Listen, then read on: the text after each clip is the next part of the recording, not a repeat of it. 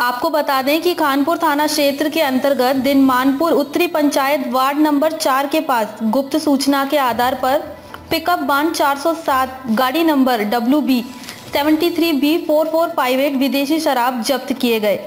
Total मात्रा एक हज़ार दो सौ बानवे लीटर के लगभग जब्त किए गए। वहीं पर एक लाख बासठ हज़ार और जब्त किए गए।